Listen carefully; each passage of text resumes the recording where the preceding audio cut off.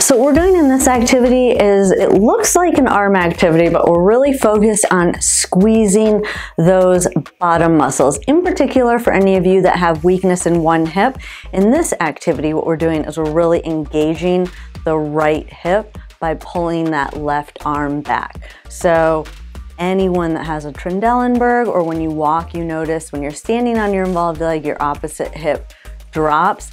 This would be a great activity, again, to engage that hip or to kind of get those hip muscles a little bit more involved. And we're in kind of a standing position. If you think about it, we just kind of took the ankles out of it by being in this kneeling position.